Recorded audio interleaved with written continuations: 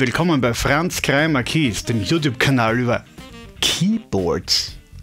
Heute zeige ich euch den fantastischen, einzigartigen, sagenhaften, unbezahlbaren Roland Jupiter 8 aus dem Jahre 1981. Viel Spaß!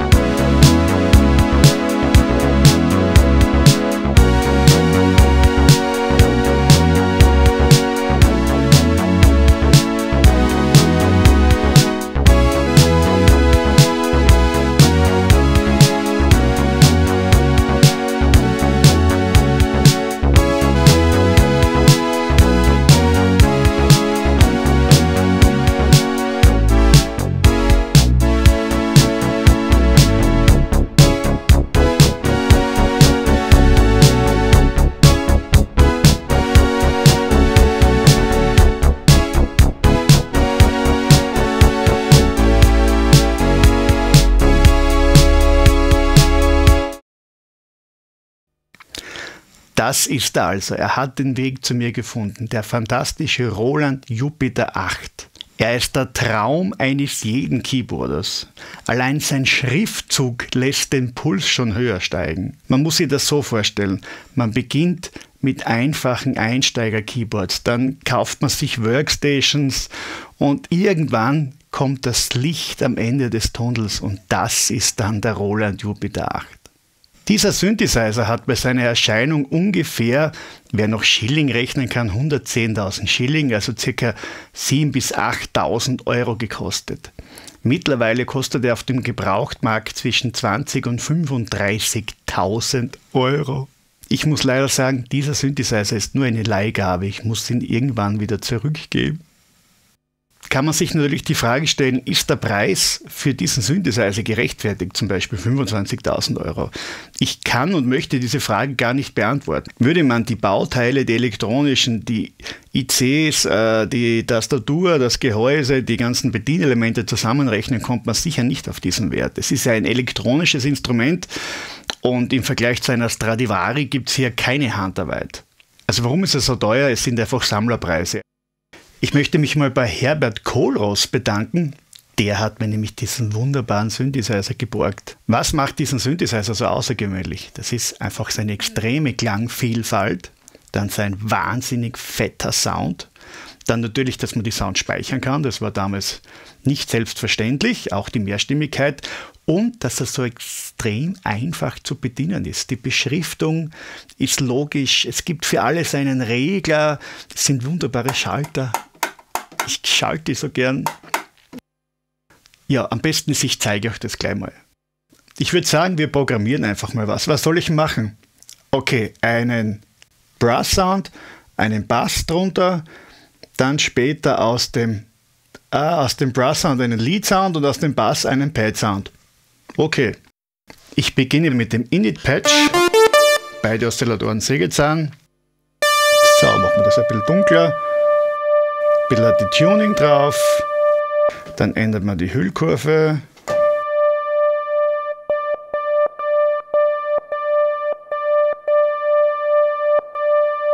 Gehen wir Hüllkurve auf das Filter.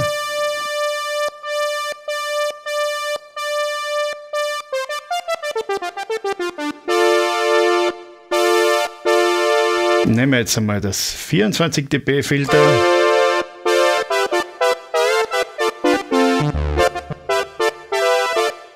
Lassen wir den Sound ein bisschen ausklingen.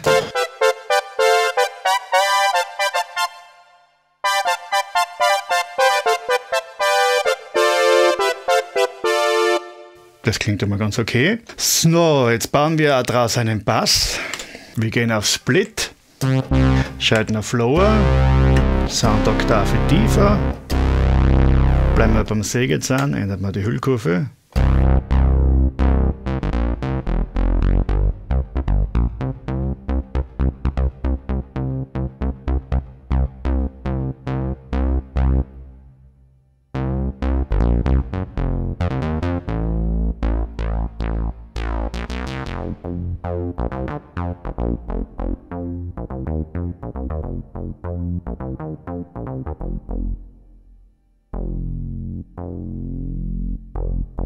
Nicht ausklingen.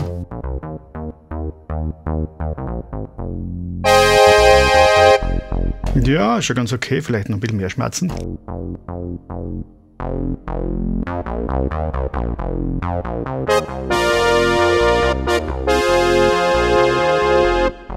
Mit Unisono.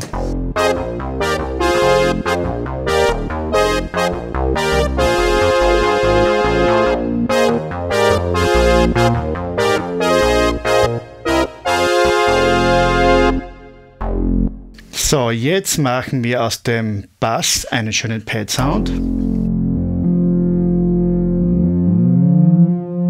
So, die Resonanz drehen wir mal weg, die Filterhüllkurve eigentlich auch. Wir lassen noch einmal den schönen Sägezahn. Mehr die Tuning. Jetzt ändern wir die Lautstärkenhüllkurve, lassen das aus, einschwingen.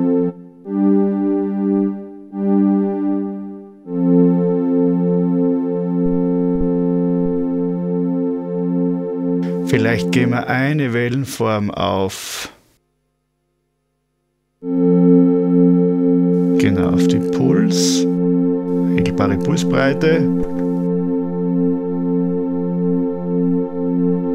Setzen wir doch ein bisschen die Filterhüllkurve ein.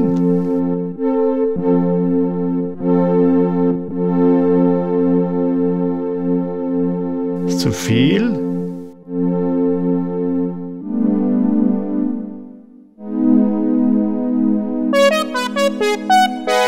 Haben wir noch den Bläser-Sound. So, das Pad machen wir ein bisschen lauter. Wir machen so einen Solo-Sound, ich würde sagen so ein bisschen Lyle, Mays-mäßig. Mit ganz viel Rechteck.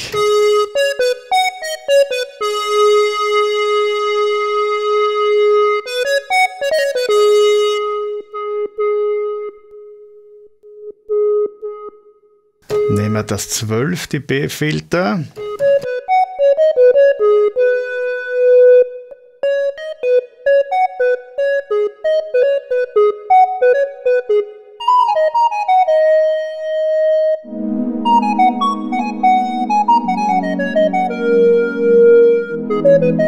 Bist mit den Terzverwandten.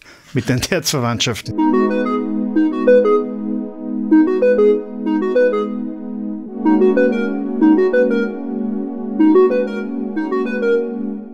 Jetzt könnte ich noch zum Beispiel bei dem zweiten Oszillator Rauschen dazugeben.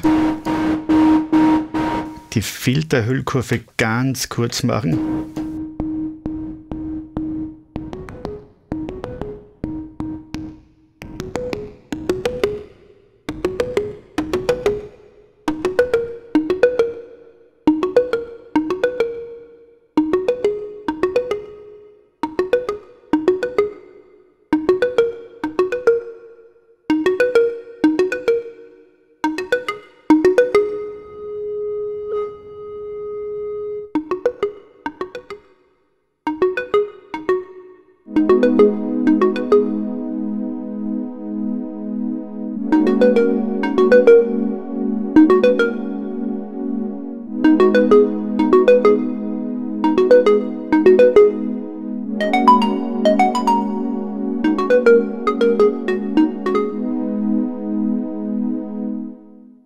Machen wir doch wieder den Bläsersound.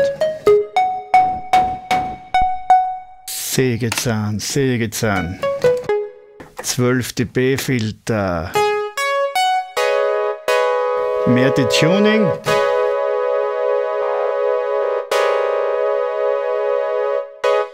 Jetzt setzen wir noch die Pitch-Hüllkurve ein. Ich würde sagen für Oszillator 2.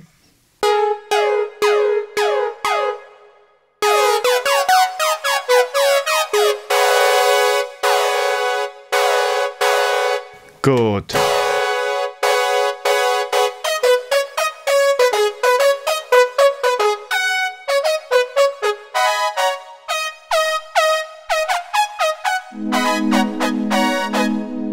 Ohne Bläser lauter. Und noch kürzer.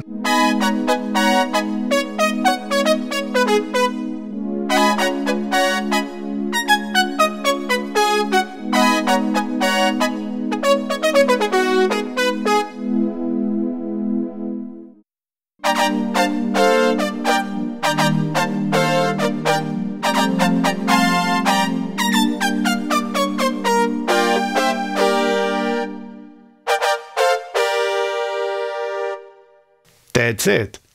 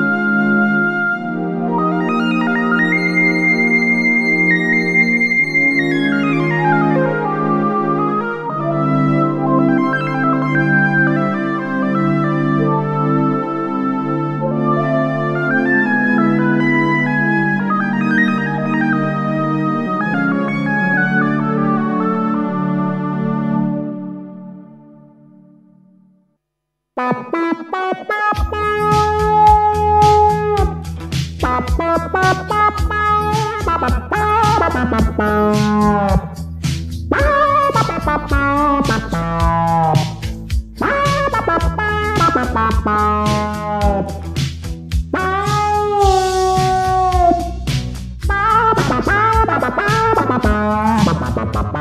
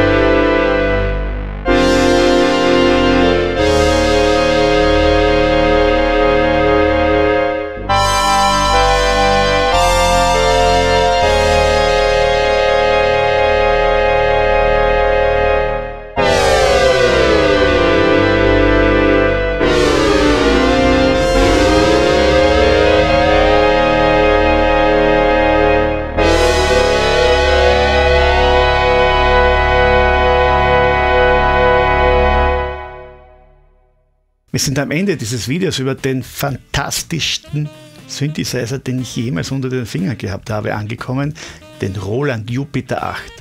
Ich hoffe, das Video hat euch gefallen. Wenn ihr Fragen habt, schreibt es in die Kommentare. Ich freue mich auch über Anregungen, welche Videos vielleicht noch machen könnte, was ihr wissen wollt. Generell über den Jupiter, welche Sounds man vielleicht programmieren könnte. Vergesst nicht, meinen Kanal zu abonnieren. Es gibt noch viele Keyboards anzuhören und anzuschauen. Wir sehen uns beim nächsten Mal.